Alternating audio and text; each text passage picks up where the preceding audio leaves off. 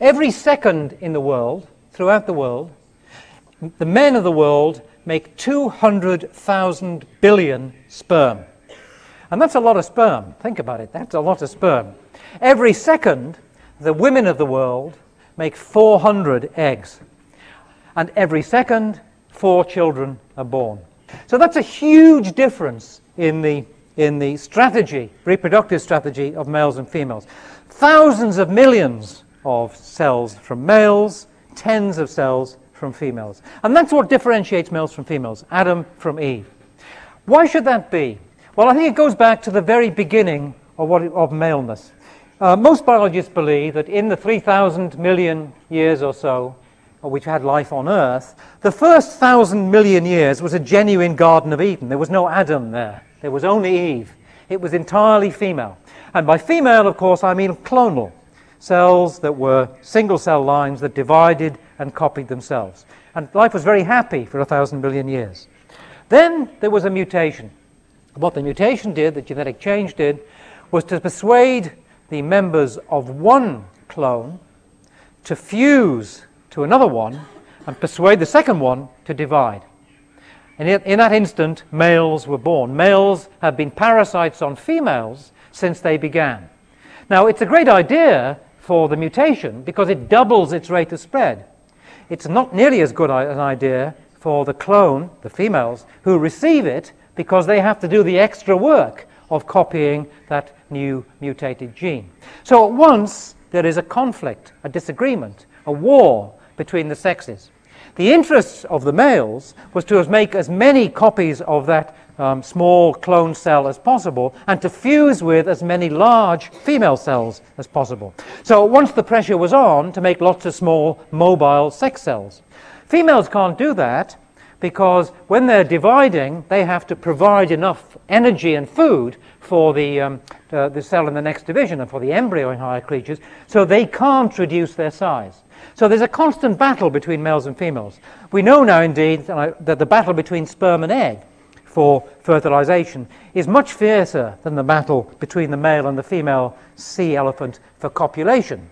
Only one sperm in many, many millions actually gets into the egg, and that's because the egg has hundreds of barriers, about which we know a lot of the molecular biology now, that keep sperm out. So we have this battle, males as parasites, males as tapeworms, since the day they began. But interestingly enough, the battle also gives us the opportunity to search out the differential history of men, of males and females in general, and men and women in particular. Um, women have a history which is written um, not in their Y chromosomes, because they don't have a Y chromosome, but in this, in this thing here, which I'm sure you'll all recognize. It's a mitochondrion, the powerhouse of the cell, as everybody knows. It's where most of the cell metabolism is actually done. Now, mitochondria, interestingly enough, themselves started as parasites. Um, long before males did, they were bacteria that got into early cells and have stuck there. Now, mitochondria in most, but not all creatures, certainly in humans, mitochondria are only passed down the female line. They're in the egg, which is full of mitochondria and other things, so they're passed down only through females. Males get them. The, the men in this audience have got mitochondria, which they've got from their mother, but the men in this audience will not pass them on because they're excluded from the sperm at the moment of fertilization. Mitochondria have genes, they have a special and rather strange um, uh, set of genes, um, which we know a lot about, and that just like Y chromosomes, they're very variable. So that in fact we have two asexual systems going on. We have an asexual system of inheritance through men, father to son to grandson, the Y chromosome, and an asexual system of inheritance through women, the mitochondria. And we can use that, as we'll see, to trace the history of Adam and Eve. And it's a slightly odd one. The beginning of asexual genetics was due to this chap here, who's Francis Galton. And Francis Galton was a British biologist um, who, was the, who, was Charles Darwin's cousin. He founded the lab in which I now work, which is called the Galton Laboratory um, in London. And he wrote a book called, it, called Hereditary Genius, which was about human genetics in a very strange way. It's, uh, it's not at all a good book, but it was the first attempt to generate human pedigrees, and he's seen as the founder of human genetics. He's also seen as the founder of eugenics, which led to the terrible excesses of the Nazi era and indeed of the castration of men in the United States, but I'm not going to talk about that particularly. Galton was a great genius. But he was a flawed genius. He had many wonderful ideas, very few of which he followed through. He did many strange things. He was the first person, for example, to publish a weather map, a weather forecast map, in a newspaper, in the Times newspaper in London. He was the um, he wrote a paper called um, "On the Relative Sensitivity of Men and Women in the Nape of the Neck," and he went around and he tickled lots of men and women at the nape of the neck, and found that women giggled sooner than men did. Um, he was the only person to make a beauty map of the British Isles. And he did that with a little counting device, which you can hold in the palm of your hand. And he walked through the streets of British cities, um, scoring the local females on a five point scale from attractive to repulsive. Um, the low point was in Aberdeen in Scotland, where it still is. Um, and the high point, not surprisingly, was in South Kensington, where Harrods the Harrods stories, and if you go to Harrods, you'll see that's still the case. He never came to Eastern Europe. I'm sure he would have been very busy had he done so. Um, I try to persuade my own students to do this, to say, all right, go out and you men score the women and you women score the men. But they won't, they're too politically correct. Um, my, my prediction actually is, is that women should be more consistent in their scoring of men than, than males are. So if you want to PhD to do, there's, I'll give it to you for, for nothing. You could try it and see.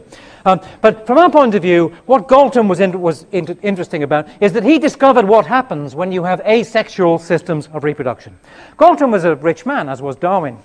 And he used, he used to go for his vacations, his summer vacations, on walking holidays in Switzerland, in particularly to the Italian part of Switzerland, which in those days, and we're talking 1880 or so, was remote and poor, and almost nobody ever visited it and he was wandering through the mountains, and he noticed something very strange, which immediately interested him, in, interested him because of his interest in human inheritance and human quality. He'd go to a village, a small village up in the mountains, and notice that everybody had the same surname, the same second name. And as a very pathetic joke, perhaps you could go to a village and everybody in that village would be called Mr. or Mrs. Pasta. Went over the mountain to 10, 15 kilometers to another village, which looked very much the same, and discovered there that everybody had the same surname, the same second name, the same family name, but it was a different one. It might be Mr. and Mrs. Cannelloni, shall we say. And then the third village, it'd be Mr. and Mrs. some other kind of Mr. and Mrs. Spaghetti. And immediately he thought to himself, well, this is very interesting. This must prove that over the 500,000 years that these villages have been here, it's because surnames are inherited asexually, down males. Men have sons and daughters, but their daughters get married and change their names. Or at least they did in the old systems. Um, and so it's an asexual inheritance. And he pointed out, he actually went into the records of these villages, and he found that when a village was, was started, let's say 500 years ago, there were, there were 10 families, pasta, spaghetti, cannelloni in the village. And, but every generation, as soon as one male had no sons, his name disappeared. Perhaps he had only daughters. Perhaps he had no children at all. Perhaps he was killed in an accident. If, but if he had no sons, the name disappeared. Perhaps in generation two, the name spaghetti disappeared from the first village. The name had gone forever, so the others became more common. And inevitably, one of them then takes over. And in time, everybody gets the same surname. And everybody in that village, in fact, descends from a man called Pasta, who lived perhaps 500 years ago. He was the Adam of all, everybody in that village. Not only, in fact, did they inherit his um, surname, but they inherit also his Y chromosome. A friend of mine did a piece of research not long ago. He has a rather unusual English surname, which is Sykes. Um, it's not uncommon, but it's, it's, it's fairly rare. And he had a good idea. He wrote to 500 people called Sykes and said, Will you spit into this tube and send me your DNA? And he did that. And in fact, he found that something like 90% of them had the same Y chromosome. They didn't know this, they were scattered all over England, um, but they did have the same Y chromosome. They all descended from the same man. The other 10%, I'm not going to go into where they came from, um, but uh, uh, there, is a, there, is, there are certain mistakes come into every family, there's no question. So that's what Adam meant. Way back in 1500, when these Italian villages were founded, there may have been 10 men there, but only one of them was going to persist, his genes were going to persist. He was the Adam, he didn't know, the others didn't know, there were plenty of other males, but he certainly, he certainly existed. And we could, in principle, do exactly the same thing with Eve. We could do that with mitochondria, and that's actually been done uh, in Canada with mitochondria, and the story is about the same. So let's now turn to this question of who Adam and Eve were and did they meet. Well, the expulsion from Eden happened, of course, when Eve um, disobeyed instructions and ate the fruit of the tree of knowledge. She gained scientia, wisdom, um, which was a big mistake, and they were chucked out immediately. Now, it's rather interesting the image of what Eden actually was. Eden was clearly a very nice place. Um, you sat around naked in warm weather with plenty of fruit trees ready to be picked, plenty of animals ready to be strangled and eaten. He didn't really have to do much work. Um, there are plenty of pictures of Adam playing a harp. Uh, so Eden was a lovely place to be, a bit like Club Med, in fact, in many ways. Right? Um, as soon as they were thrown out of Eden, life got much, much worse. In fact, God says to uh, Adam and Eve, uh, By the sweat of thy brow thou shalt labor. Now you have to work. And indeed, outside Eden, they began to work. They had to dig. Um, Cain, who was, uh, who, was, uh, who was Eve's son, they, and uh, Cain was the first farmer. His brother Abel was still a hunter gatherer, but Cain was the first farmer. He had to dig. He invented the idea of private property.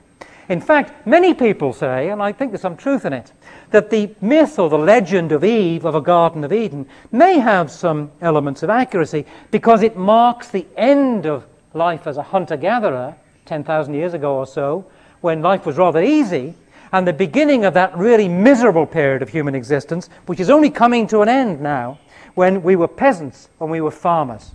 And uh, that marked a dramatic change in the relative position of men and women.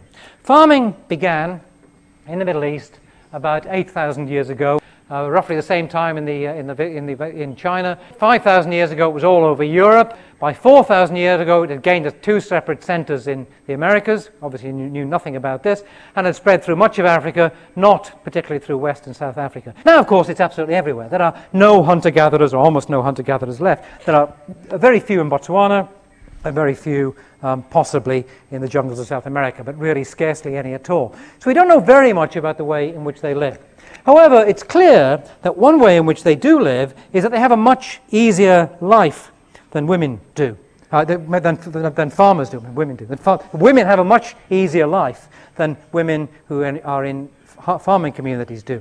In fact, the hunter-gatherers of the Kalahari Desert in Botswana, who were still there when I was there in the 70s, have now more or less disappeared. Um, in order to get enough food to feed their families, they had to work about 12 hours a week. The farmers had to work about 60 hours a week. So farming is really hard work. Karl Marx, that important figure in Polish history, Karl Marx saw, actually it was Engels rather than Marx, Marx agreed with him, Engels saw the origin of, of farming as what he called the world historical defeat of the female sex.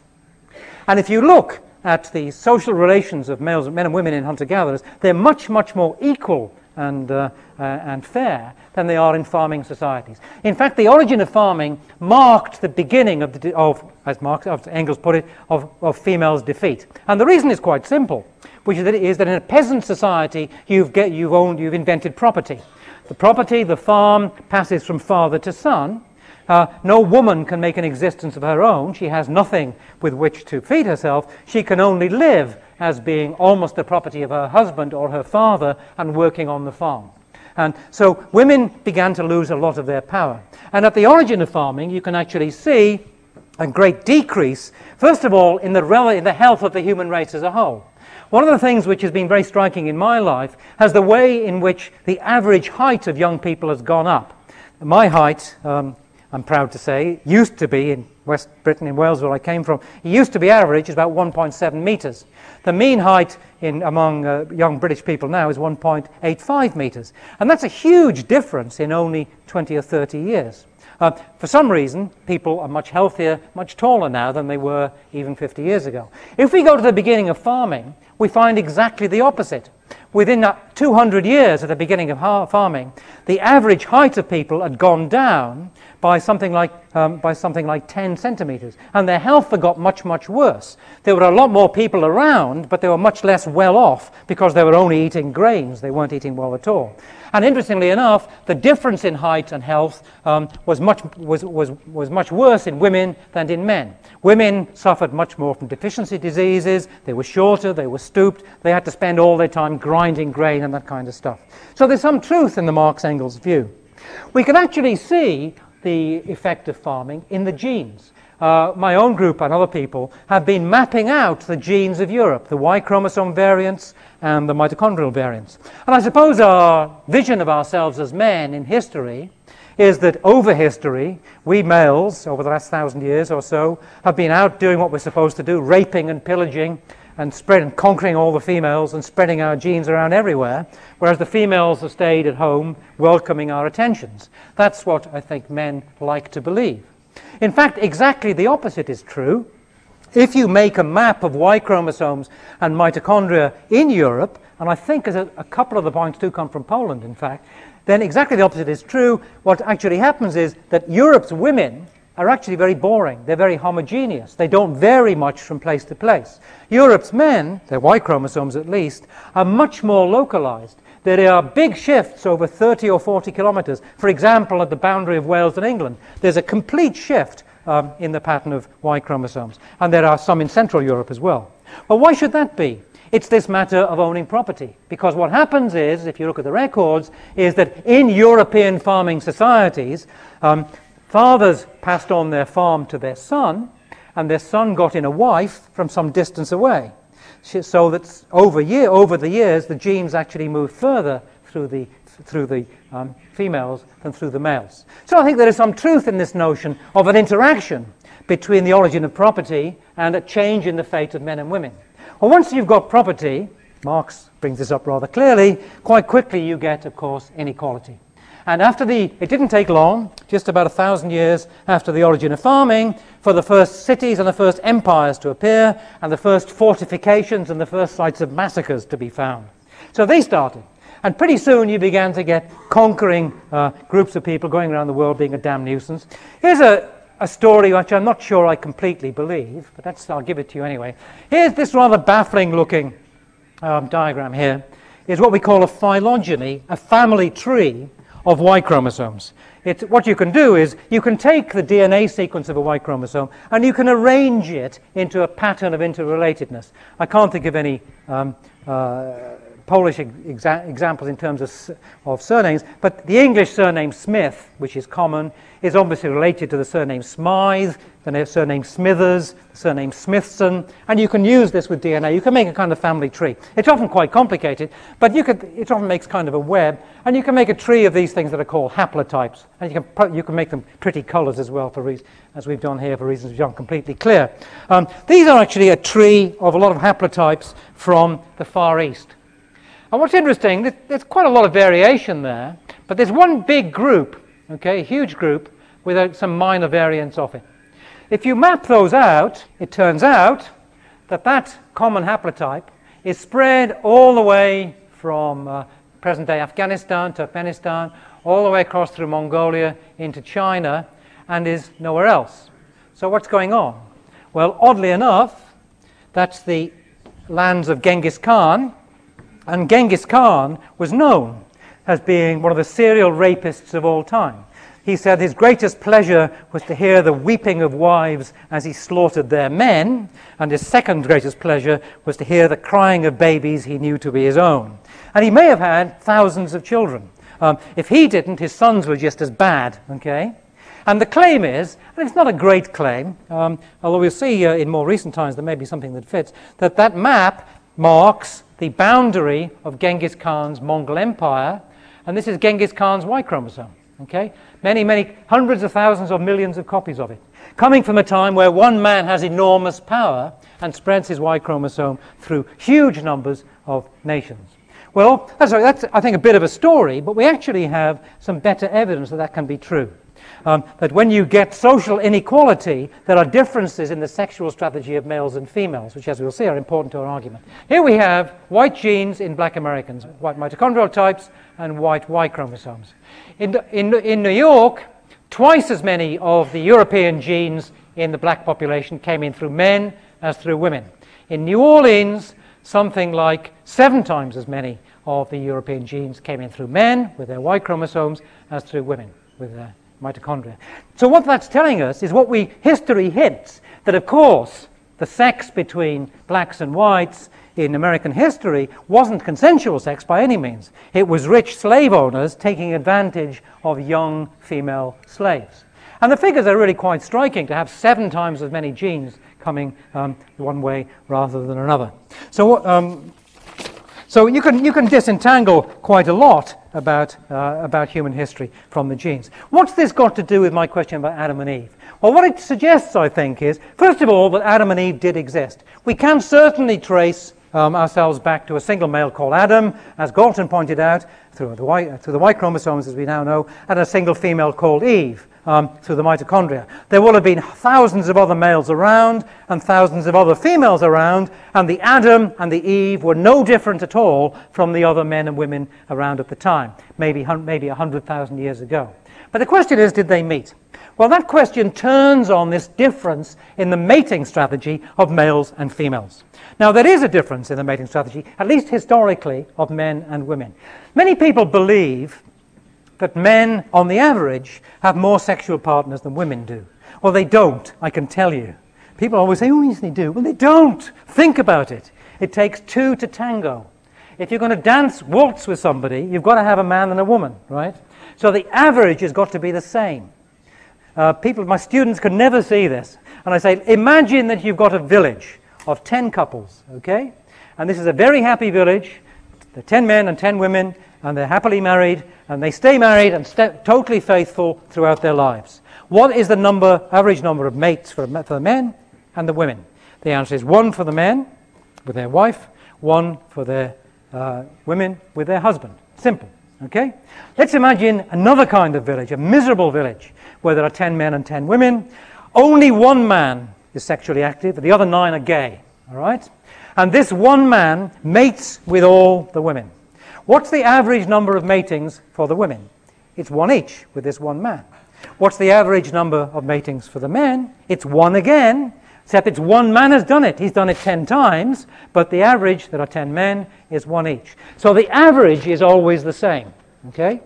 Um, but there can be big differences in the variance, the variability, as we say. Recently in Britain, and also in the States, there have been attempts to ask people this question. And it's a scientifically interesting question. Of course, it's a medically interesting question too. How many sexual partners have you had in your lives? Uh, it's been a very disappointing um, exercise. In, in, in, in Britain, the average 40 year old man asked in conditions of complete privacy and being told this is a serious piece of medical research, ditto the average 40 year old woman, the average man says that in his life he's had 9.9 sexual partners. The average woman says 3.4. So somebody's lying. Okay? Somebody isn't telling the truth. And so you can't really get these figures out. But what is clear that there are occasional men out there who do have large numbers of sexual partners. But they may, they may do so on a commercial basis rather than a romantic basis, but there is more variability in mating success than in, than in, uh, in men than in women. And that makes comes to the, cr- the crux of my argument about whether Adam and Eve ever met. Here's the guy who is in the Guinness Book of Records as the most sexually successful man, in reproductive terms, ever um, recorded. His name was Moulay Ismail the Cruel of Morocco. Um, he lived in the 18th, 17th, and 18th centuries. Um, he was a busy man. He said he killed 50,000 Christians with his own sword. He used to make a point of executing his prisoners. Um, but he wasn't too busy to have 888 children. Okay? He lived in this court um, in which effectively all the children were his. So half of those children will have been, uh, will, have, will have been male, and they will have carried his Y chromosome. So who was the who was the Adam of those 444 sons. Clearly, it was Moulay Ismail. He was their father. You only have to go back one generation to get back to him. Who was their Eve? Well, it certainly did, she certainly didn't live at the same time as Moulay Ismail because there was definitely more than one Mrs. Moulay Ismail the Cruel. If you look at the Guinness Book of Records, there is a woman who claims to have had 24 children. I think most people disagree with that. The, the, the medical attested maximum for women is something like 17. Um, but even if women were having 12 children with Moulay Ismail, there would have had to be something like um, 70 or 80 of them in order to allow him to have his 888 children. So, to get to the eve of those children in his court, you'd have to go back not to the previous generation, but the generation before and the generation before that. In this diagram at the bottom, we've got today 10 people, 10 boys living, okay? Previous generation, there were 10 men, but only one, two, three of them succeeded in having any children. And that's not unreasonable in historic times. If you look into farming societies, that's often the case. Only a small proportion of men have any children. Under those circumstances, you only have to go back one, two, three, four generations to get to Adam. Okay? Uh, the universal, last universal male ancestor. Um, here we have the same village, 10 women, but each generation we allow one, two, three, four, five to reproduce. So half of them. Not a big difference, but there's less variability. And each generation, one, two, three, four, five, reproduces, and so on. Some of them die out. And in those circumstances, we have to go back one, two, three, four, five, six, seven generations. So to get it to Eve, we have to go further back into history simply because of this difference in the variability in mating success by men and women. And if you put the two together, I'd really take you to the take home message of my talk, which is that whoever Adam uttered that famous English phrase to, Madam, I'm Adam, he didn't say it to Eve. I'll stop it there. Thank you.